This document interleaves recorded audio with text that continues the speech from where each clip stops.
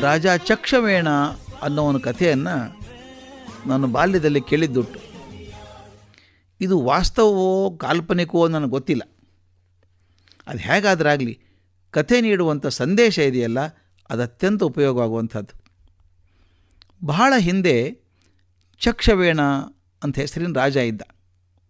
ತುಂಬ ಧರ್ಮಾತ್ಮ, ದಯಾಳು ಮನುಷ್ಯ, ಸಂಪನ್ನ. ಅಧಿಕಾರದಿಂದ ರಾಜ ಆಗಿದ್ದರೂ ವಿರಕ್ತನಾಗಿದ್ದ. ರಾಜ್ಯದ ಹಣವನ್ನು ಸ್ವಂತಕ್ಕೆ ಎಂದೂ ಬಳಸ್ಕೋತಿರಲಿಲ್ಲ.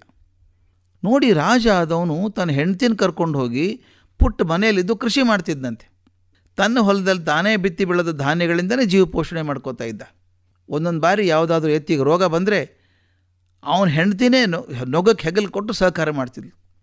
ತಮ್ಮ ಹೊಲದಲ್ಲೇ ಬೆಳೆದಂಥ ಹತ್ತಿಯಿಂದ ನೂಲು ತೆಗೆದು ಬಟ್ಟೆಗಳನ್ನು ಮಾಡ್ಕೊಳ್ತಾ ಇದ್ರು. ಅವ್ರ ಸಾದಾ ಜೀವನ ಸದಾಚಾರಿಯಾದಂಥ ರೈತನ ಜೀವನದಂತೆ ಇತ್ತು. ಪ್ರಜೆಗಳಿಂದ ವಸೂಲು ಮಾಡ್ತಿದ್ದ ತೆರಿಗೆಯನ್ನು ಸಂಪೂರ್ಣವಾಗಿ ಅವರ ಅಭಿವೃದ್ಧಿಗೆ ಬಳಸ್ತಾ ಇದ್ದ. ಅವನನ್ನು ಜನ ಧರ್ಮದ ಅವತಾರ ಅಂತ ಭಾವಿಸಿದರು. ಎಲ್ಲಿವರೆಗೂ ನಂಬಿಕೆ ಹೋಗಿತ್ತು ಅಂದರೆ, ಯಾರಾದರೂ ತಪ್ಪು ಮಾಡಿದರೆ ಚಕ್ಷವೇಣನ ಕೈಯಲ್ಲಿ ಚಕ್ರ ಇದೆಯಲ್ಲ ಅದೊಂದು ಶಿಕ್ಷೆ ಕೊಡ್ತದೆ ಅನ್ನೋ ನಂಬಿಕೆ ಬಂದ್ಬಿಡ್ತು. ಒಂದು ರಾಜ್ಯದಲ್ಲಿ ಬಹುದೊಡ್ಡ ಜಾತ್ರೆ ಆಯಿತು.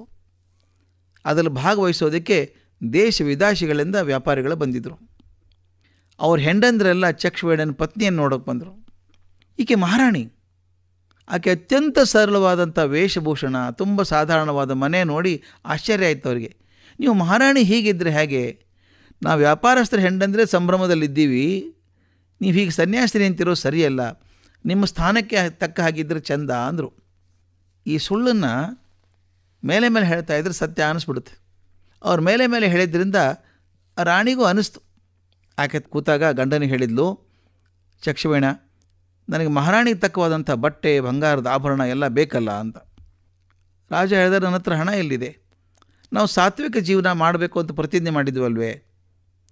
ಆದರೆ ಹೆಂಡತಿ ಹಠ ಹಿಡಿದಾಗ, ಆಗಲಿ, ರಾಜ ಆದ್ದರಿಂದ ಕೆಲವು ದುಷ್ಟ ಅತ್ಯಾಚಾರಿ ರಾಜರುಗಳಿದ್ದ ಬಂಗಾರ ತರಿಸ್ಕೊಡ್ತೇನೆ ಅಂತ ತನ್ನ ದೂತರಿಗೆ ಹೇಳಿದ. ನೀವು ಲಂಕೆಗೆ ಹೋಗಿ ರಾವಣಿಗೆ ನನ್ನ ಸಂದೇಶ ಕೊಡಿ. ಕೊಟ್ಟು ಇಪ್ಪತ್ತು ಮಣ ಬಂಗಾರ ತೊಗೊಂಬನ್ನಿ ಕಾಣಿಕೆಯಾಗಿ ಅಂದ. ಇಪ್ಪತ್ತು ಮಣ. ಅವ್ರು ಹೋಗಿ ರಾವಣನಿಗೆ ಸಂದೇಶ ನೀಡಿದಾಗ ಅವನು ಜೋರಾಗಿ ನಕ್ಕಂತೆ. ಅದು ಯಾವನ್ರಿ ರಾ ಚಕ್ಷವೇಣ ರಾಜ? ನನ್ನಂಥ ಚಕ್ರವರ್ತಿಗೆ ಆಜ್ಞೆ ನೀಡ್ತಾನೆ? ಆ ದೂತ ಹಿಡಿದು ಒಳಗೆ ಜೈಲಲ್ಲಿ ಹಾಕಿ ಅಂದ. ಅವತ್ತು ರಾತ್ರಿ ಈ ಘಟನೆಯನ್ನು ಮಂಡೋದರಿಗೆ ಹೇಳಿದ, ಹಿಂಗಾಯಿತು ಅಂತ. ಆಕೆ ಹೇಳಿದಂತೆ, ನಾನು ಈ ರಾಜನ ಹೆಸರು ಗೊತ್ತು ನನಗೆ, ಆತ ಮಹಾಧರ್ಮಿಷ್ಟ ಅವನಿಗೆ ಬಂಗಾರ ಕೊಟ್ಬಿಡ್ಬೇಕಾಗಿತ್ತು ನೀವು. ನಾಳೆ ಅವನ ಚಕ್ರದ ಶಕ್ತಿ ತೋರಿಸ್ತೇನೆ ನಿಮಗೆ ಅಂದ್ಲು. ಅವನ ಶಕ್ತಿಗೆ ಅಷ್ಟಿದೆಯಾ?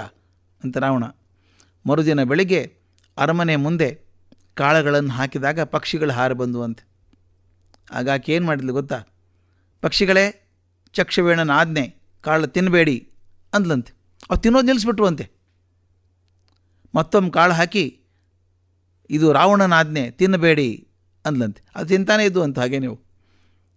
ಮತ್ತೊಮ್ಮೆ ಚಕ್ಷವೇಣನ ಆಜ್ಞೆ ಅಂತ ನಿಲ್ಲಿಸ್ಬಿಟ್ಟು ಒಂದು ಕಿವುಡು ಪಕ್ಷಿಗೆ ಮಾತ್ರ ಈ ಮಾತು ಕೇಳಿಸದೆ ತಿನ್ನೋಕೆ ಶುರು ಆದಾಗ ಅದು ಎಲ್ಲಿಂದನೋ ಒಂದು ಸರ್ರ ಚಕ್ರ ಬಂದು ಅದ್ರ ಕತ್ತು ಕತ್ತರಿಸಿ ಹೋಯ್ತಂತೆ. ರಾವಣ ಬೆರಗಾಗಿ ಹೋದ. ಬಂಗಾರ ಕೊಟ್ಟು ಕಳಿಸ್ದ. ಚಕ್ಷವಣನ ಹೆಂಡತಿಗೆ ಆಶ್ಚರ್ಯ ಆಯಿತು. ರಾವಣನಂಥ ಪ್ರಚಂಡ ಚಕ್ರವರ್ತಿ ಹೆದರಿ ಬಂಗಾರ ಕಳಿಸಿದ ಯಾಕೆ ಅಂತ ಕೇಳಿದಾಗ ಚಕ್ಷವಣ ಹೇಳಿದ, ಅದು ನನ್ನ ಶಕ್ತಿಯಲ್ಲ ಧರ್ಮದ ಶಕ್ತಿ.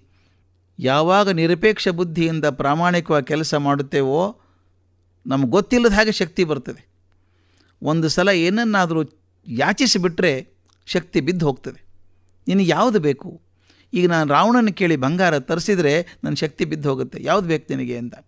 ತಕ್ಷಣ ಮಹಾರಾಣಿ ಎದ್ದು ಬಂಗಾರವನ್ನು ತಂದು ಮುಂದಿಟ್ಟು ರಾವಣನ ಕಳಿಸ್ಬಿಡಿ, ಇದನ್ನು ಸಾತ್ವಿಕ ಜೀವನನೇ ಮಾಡೋಣ ಅಂತ ಇದ್ದರು ಚಕ್ಷವೇಣ ಸಂತೃಪ್ತಿಯ ನಗೆ ನಕ್ಕನಂತೆ. ಈಗ ಜನ ಸಾತ್ವಿಕವಾದಂಥ ನಿರಪೇಕ್ಷವಾದಂಥ ಸಾದಾ ಜೀವನವನ್ನು ಹೇಳಿತನ ಅಂತ ಭಾವನೆ ಮಾಡೋ ಹಾಗಾಗಿದೆ. ಆದರೆ ಅದರ ಶಕ್ತಿ ತುಂಬ ದೊಡ್ಡದು ಮತ್ತು ಶಾಶ್ವತವಾದದ್ದು. ಅಧಿಕಾರದ ಅಟ್ಟಹಾಸ ಕೆಲವೇ ದಿನಗಳದ್ದು. ಇಡೀ ಮಾನವ ಇತಿಹಾಸವೇ ಅದಕ್ಕೆ ಸಾಕ್ಷಿಯಾಗಿ ನಿಂತ್ಕೊಂಡಿದೆ. ಯಾವುದನ್ನು ಬೆಂಬಲಿಸಬೇಕು ಅನ್ನೋದು ನಮ್ಮ ಧರ್ಮಕ್ಕೆ ಬಿಟ್ಟಂಥ ಮಾತು.